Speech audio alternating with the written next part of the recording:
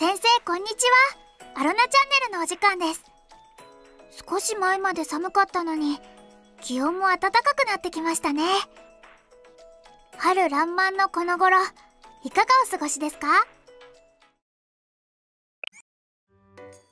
え新学期もそろそろ落ち着いてきた時期かと思いますが相変わらず先生は忙しそうですね。でもでもご安心ください。もうすぐあれがありますよ。先生。ん？あれってなーにって。せ先生働きすぎのあまりそんなことも忘れてしまったのですか？ほらあれです。みんな楽しみにしてるやつです。もうゴールデンウィークですよ。ゴールデンウィーク。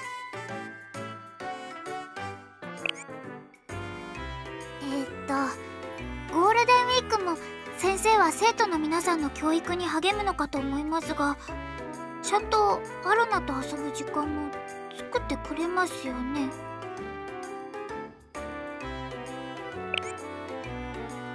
ああよかった。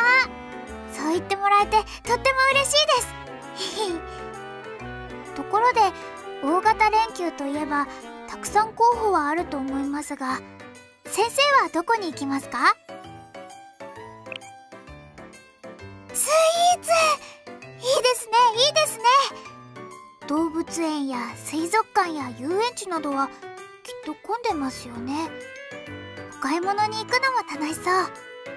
映画に行くのとかもいいですね。え私ですか？どれも楽しそうで悩みます。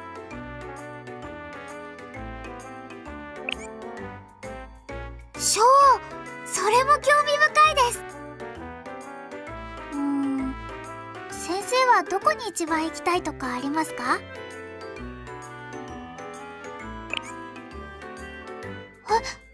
そえそんな照れてしまいます。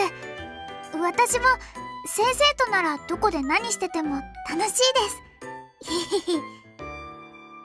なんだかんだこの教室に先生と一緒にいるのが一番しっくりくるな。